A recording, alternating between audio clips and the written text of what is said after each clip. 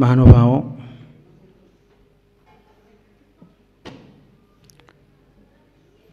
संस्कार के छह स्तंभों में एक स्तंभ है, वह है समर्पण। इंसान को अपने जीवन में समर्पण देना पड़ता है। समर्पण जब दे देता है तो अपने जीवन का कायाकल्प हो जाया करता है।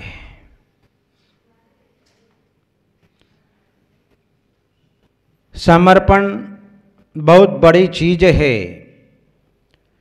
हर कोई व्यक्ति समर्पण नहीं दे सकता है। समर्पण देने वाला ही अपने जीवन में ऊंचाइयों को प्राप्त कर लेता है। बड़े बड़े पदों को प्राप्त कर लेता है। आप देखते हैं, जब आप अपने घरों के अंदर दाल, सब्ज़ी फ्राई करते हैं और दाल, सब्ज़ी में जब फ्राई की जाती है तो उस समय जो है, आपको दाल, सब्ज़ी, भोजन आदि का स्वाद आता है। ये स्वाद कैसे आया? क्योंकि व्यक्ति अपने जीवन में ओरिजिनल भोजन का स्वाद तो लेता ही नहीं है। जितना भी स्वाद लेता है, वह ऊपर से ही लेता है। मिर्च मसालों का ही स्वाद लेता है। असली भोजन का स्वाद तो साधु संत जिस दिन निरस भोजन करते हैं, उस दिन अपने जीवन में अनुभव करते हैं। हाँ यदि डॉक्टर ने मना कर दिया कि आपको एक भी रस का सेवन नहीं करना है, न दूध खाना है, न घी खाना है, न नमक लेना है, न तेल लेना है, न मिर्च मसाले लेना है। तब आप जो है, उस भोजन का स्वाद, ओरिजिनल भोजन का स्वाद अपने जीवन के अंदर ले सकते हो। जहाँ ऊपर से डाला जाता है उसका कोई स्वाद नहीं आता है। यह तो केवल ज़ुबान का स्वाद है। इंसान जो है, इस रसना के पीछे इतना लोलोपी हो गया है कि वह ऊपर से डाल डाल करके अपने जीवन में वह स्वाद लेता है। भोजन स्वादिष्ट कैसे बना? दाल स्वादिष्ट कैसे बनी? ध्यान रखना, जो ऊपर से डाला गया है मिर्च मसाले। उन मिर्च मसालों ने अपने जीवन के अंदर तपना प्रारंभ किया। चू तक नहीं किया, आवाज़ तक नहीं की। उन्होंने जो है, अपने आप को समर्पण दे दिया। और समर्पण दिया तो आज वे जो है, अत्यंत स्वादिष्ट के रूप में परिवर्तित हो गए। शुरू से लेकर अंत तक जरा भी चू नहीं किया। समर्पण दे दिया, जिसके कारण आपकी दाल, सब्ज़ी, ये सब जो है स्वादिष्ट बन गई, ये समर्पण का फल होता है। जब एक शिष्य अपने जीवन में गुरु को समर्पित कर देता है तो वह गुरु से क्या क्या प्राप्त नहीं कर सकता। जिस एक लव्य ने परोक्ष में गुरु को समर्पण दे दिया रोज प्रतिदिन गुरु की भक्ति, आरती, अगरबत्ती लगा करके उनसे विद्या ग्रहण करता रहा और एक दिन जो है, बहुत बड़ा धनुर्धारे विद्याधर बन गया। जिस दिशा से आवाज़ आती, उसी दिशा में बाण छोड़ देता और उसका शिकार हो जाता। ऐसे विद्या एकलव्य ने ग्रहण कर ली, समर्पण के फल स्वरूप व्यक्ति के भीतर जब समर्पण का भाव जागृत होता है, उस समय कुछ भी नू नच नहीं होती है। दिन तो दिन, रात तो रात। वहाँ पर कोई तर्क वितर्क नहीं दिखाई देता है। जब पति पत्नी अपने आप में दोनों में एक दूसरे को समर्पण दे देते हैं तो फिर वहाँ पर कोई विकल्प पैदा नहीं होता है। उनकी सुख सुविधाओं में किसी प्रकार की बाधा उपस्थित नहीं हो सकती है। समर्पण का फल इतना बड़ा मिलता है कि जिसके कारण घर के अंदर कभी कला नहीं होती है, कभी झगड़ा नहीं होता है, कभी भी संवाद नहीं होता है। ऐसा समर्पण का फल इंसान को अपने जीवन में देखने को मिलता है। जहाँ व्यक्ति अपने जीवन में संकल्प करता है। संकल्प करना बहुत कठिन काम है। विकल्पों को नष्ट करने के लिए संकल्प किए जाते हैं और संकल्प करने के लिए भीतर उत्साह जागृत होता है, तब जाकर के संकल्प हो पाता है। और जब उत्साह होता है तो समर्पण करने का भाव व्यक्ति के भीतर आता है कि मुझे ये काम करना है और जब तक मैं समर्पण नहीं करूँगा, तब तक मुझे अपने जीवन में कुछ भी प्राप्त नहीं हो पाएगा। ऐसा विचार करके वह व्यक्ति अपने जीवन में समर्पण दे देता है। और समर्पण देता है तो फल भी उसको मिलता है।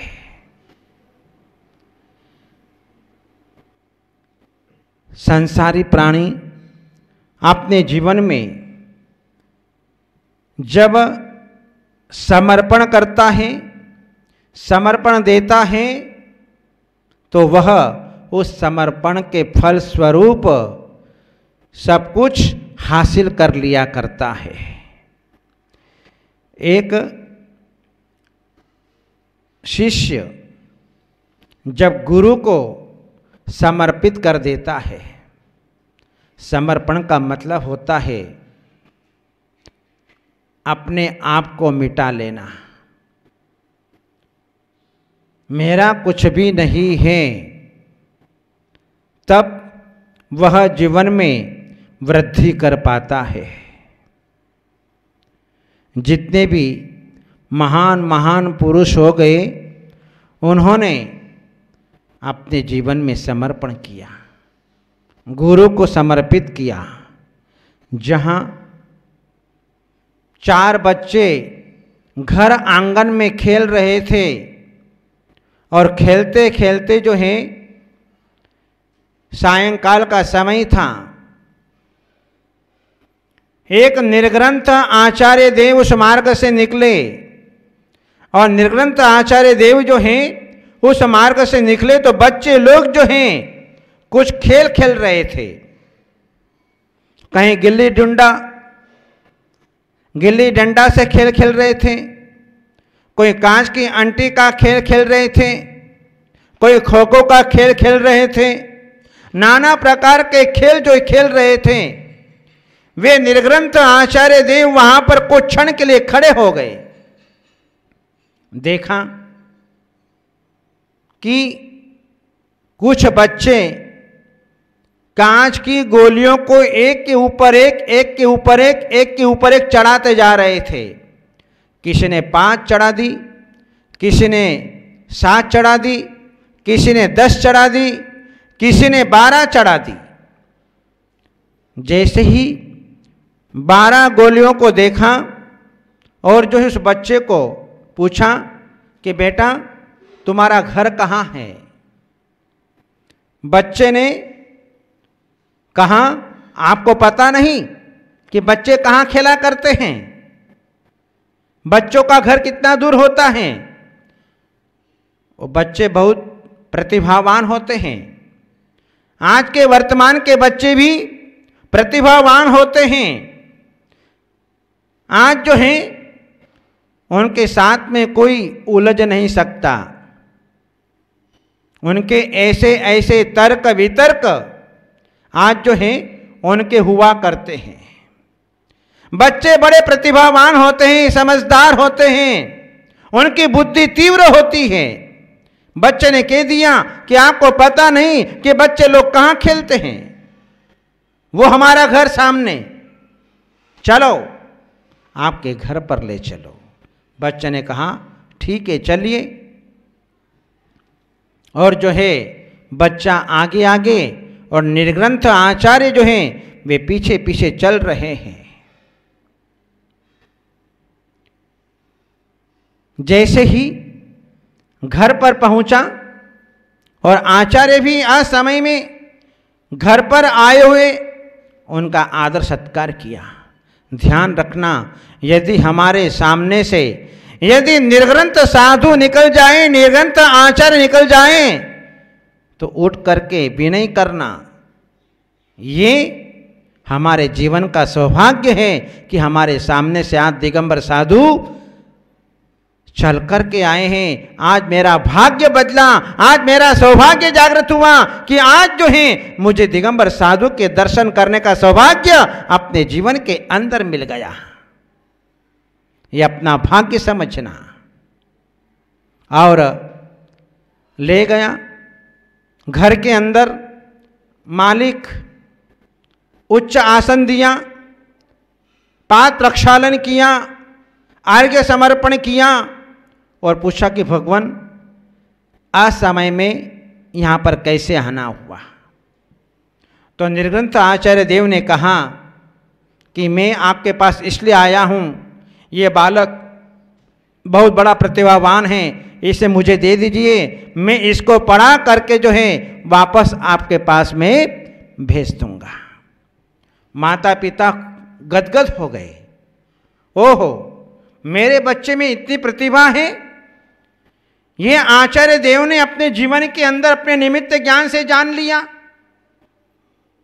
हो न हो, बालक जो है होनहार है, जो हमारे घर में इसने जन्म लिया है। जहाँ माता पिता को अपने भीतर गौरव उत्पन्न हो कि आज मेरे पुण्य कर्म के उदय से आज ऐसा बालक घर के अंदर पैदा हुआ है, कि जिसके कारण आज एक निर्ग्रंथ आचार्य इस बालक को लेने के लिए स्वयं मेरे घर पर आ गए। मेरा कितना बड़ा सौभाग्य है। जरा से भी नू नच नहीं किया और कहा कि, भगवान, ले जाइए आप इसको पढ़ाइए, लिखाइए, इसको होशियार करिए। माता पिता की आज्ञा मिलते ही वे आचार्य देव उस बालक को अपनी अंगुली पकड़ करके अपने स्थान पर ले गए। देखो, गुरु का कितना वात्सल्य होता है, गुरु का कितना प्रेम होता है कि एक छोटे से बालक को अंगुली पकड़ करके अपने साथ में लेकर के चल दिए। इसलिए इधर गुरु ने उस बालक को जैन धर्म की शिक्षा, नाना प्रकार की शिक्षा छंद शास्त्र व्याकरण शास्त्र नीति शास्त्र जैन सिद्धांत का, चारों अनुयोगों का ज्ञान उनको शिक्षा देकर के एक बहुत बड़ा विद्वान तैयार कर दिया। इधर आचार्य देव ने उनको कहा कि चलो, अब आपको जो है, आपके माता पिता को हम सौंप करके आएँगे, क्योंकि हमने वचन दिया था कि हम इसको होशियार करके वापस आपके पास में लौटा देंगे। लेकिन उस बालक ने कहा, भगवान, अब मैं घर में प्रवेश नहीं करूँगा। आप तो जो है, मैं दीक्षा लेकर के आत्म कल्याण करूँगा। मैंने संसार शरीर भोगों के स्वरूप का चिंतन कर लिया है। अब मुझे किसी की आवश्यकता नहीं है, मुझे ब्याह भी नहीं करना है, मुझे कुछ नहीं करना है, मुझे तो अपना आत्म कल्याण करना है। फिर भी गुरु ने जो है कहा, नहीं, मैंने माता पिता को वचन दिया है और जो है मैं आपको वापस लौटा दूँगा। चलो, एक बार चलो, फिर जैसा वैसा देखेंगे। चले घर पे।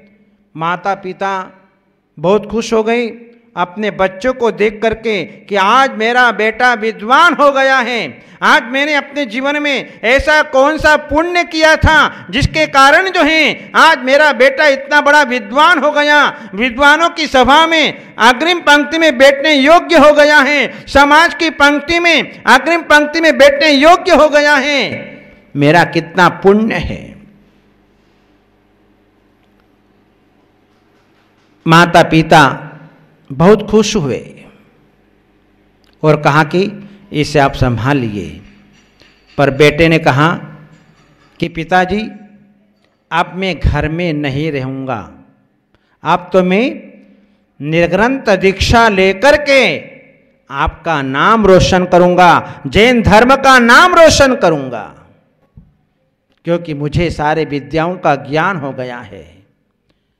माता पिता और खुश हो गए, चलो, आज मेरे कुल का नाम रोशन करने वाला, ये बेटा आज मुझे पुण्य से मिला है। माता पिता ने तत्काल जो है स्वीकृति प्रदान कर दी। यदि आज किसी का इकलौता बेटा होता है तो माता पिता जो है उसको परमिशन नहीं देते हैं।